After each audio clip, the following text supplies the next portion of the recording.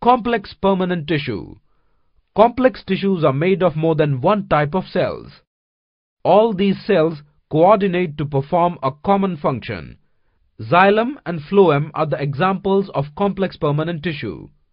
Xylem and phloem are conducting tissues and constitute a vascular bundle.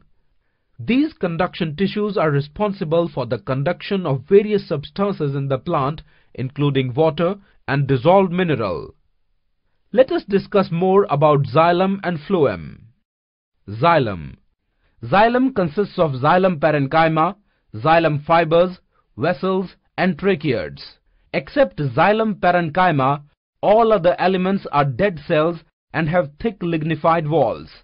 The parenchyma stores food and helps in the sideways conduction of water.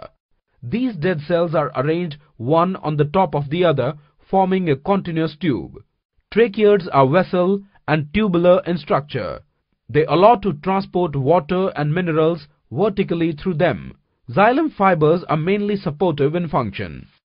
Phloem Phloem is a tissue responsible for the transport of prepared food materials from leaf to the place where it is used or stored. Phloem is made up of four types of elements. These are sieve tubes, companion cells, phloem fibers and phloem parenchyma. Except phloem fibers, phloem cells are living cells.